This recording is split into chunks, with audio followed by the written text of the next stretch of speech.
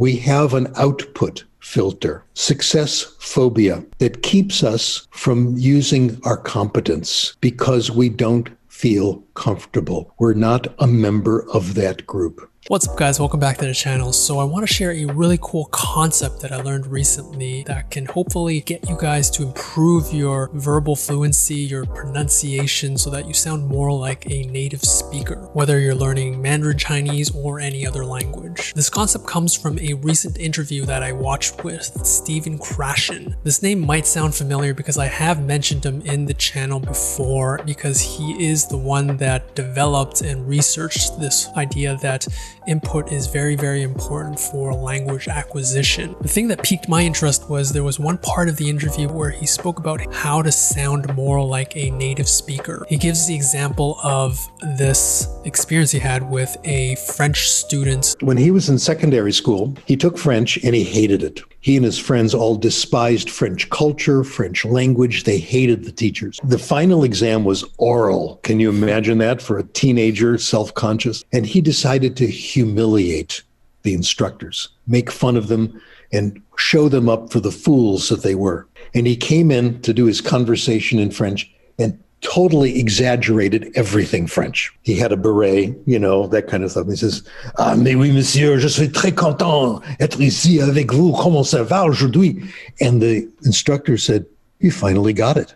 It's amazing. Where have you been? A plus. Okay. And to Stephen Krashen, this was a very powerful suggestion that all of us have the ability to speak better, to speak more like a native speaker, to speak even like a native speaker. And it comes down to playing a certain role, to almost acting in a certain way. In normal circumstances in daily life, this student, this French student, probably wouldn't have been able to play out this performance, to speak so proficiently, you know, act so well in French.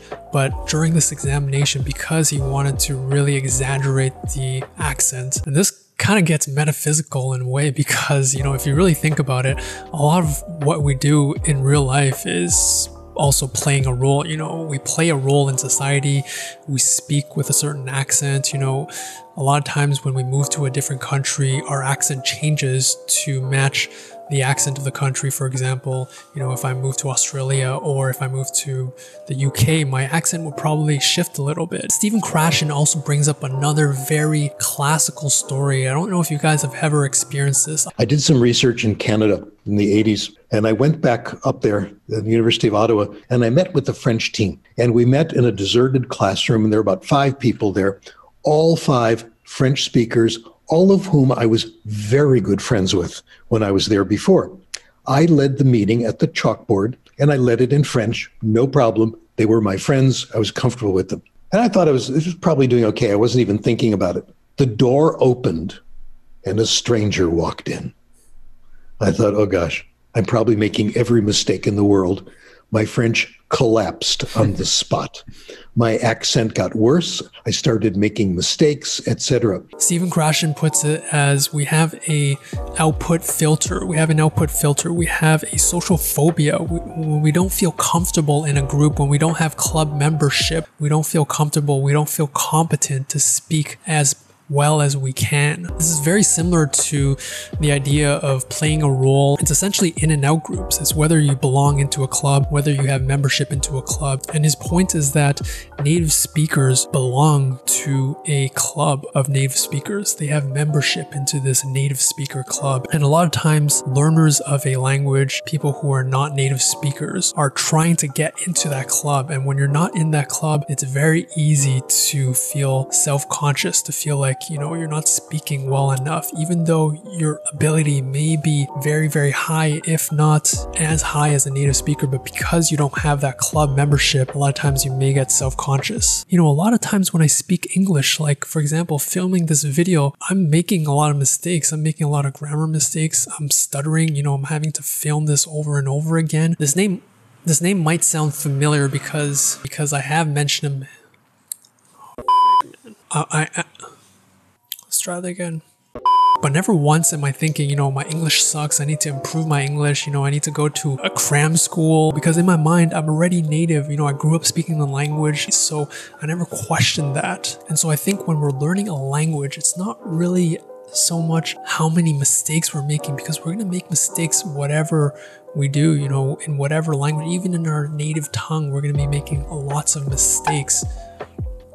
I think what's important is thinking about how we can get into that club. And really, it is a Jedi mind trick of sorts because you really have to believe that once you get to a certain level, you're part of that club and eventually that will sink in and you'll start to speak more naturally, more fluidly, with more confidence. He gives the example of clothing. Clothing has two functions. One is to protect yourself against the weather, the other is to mark you as a member of a group. Being slightly underdressed, slightly overdressed, can be embarrassing. You go to a party and you're the only one there with a tie, so you go take it off, okay, get a little more informal, etc. Or you're underdressed, not much you can do about it, okay?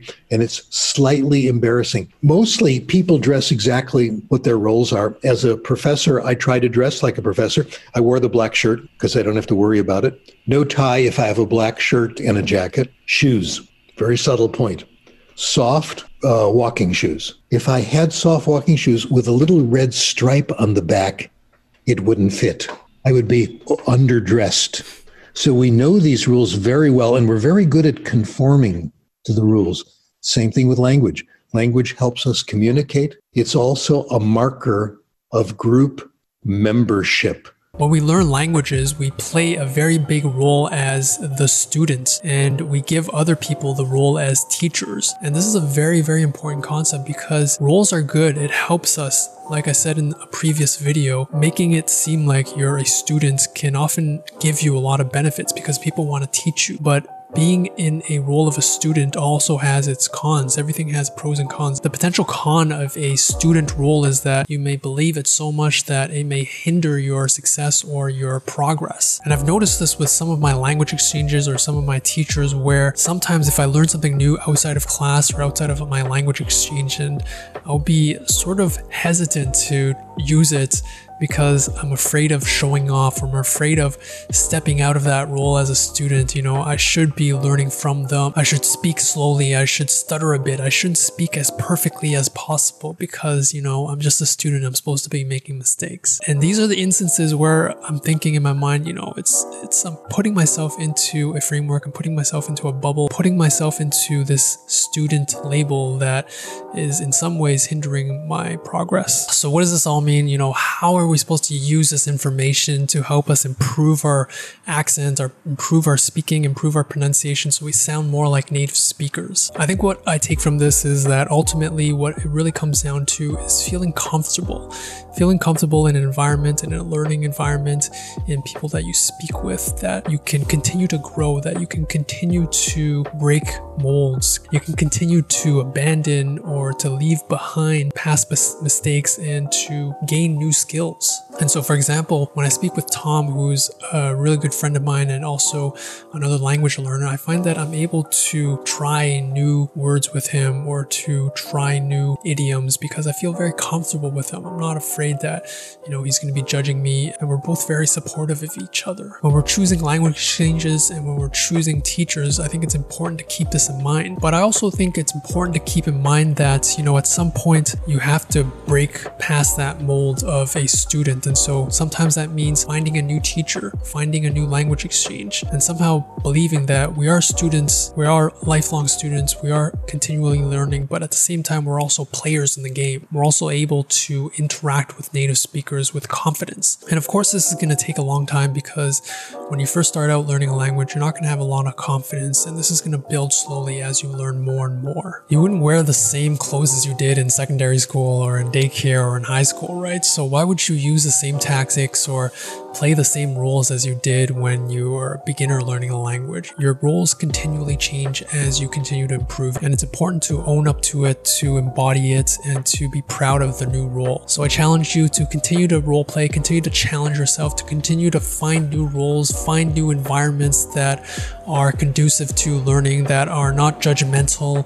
And I think this is a great way to continue to improve and to sound more like a native speaker. If you like this video, check out this playlist I made of a bunch of other language learning tips, Chinese learning tips. See you guys next time.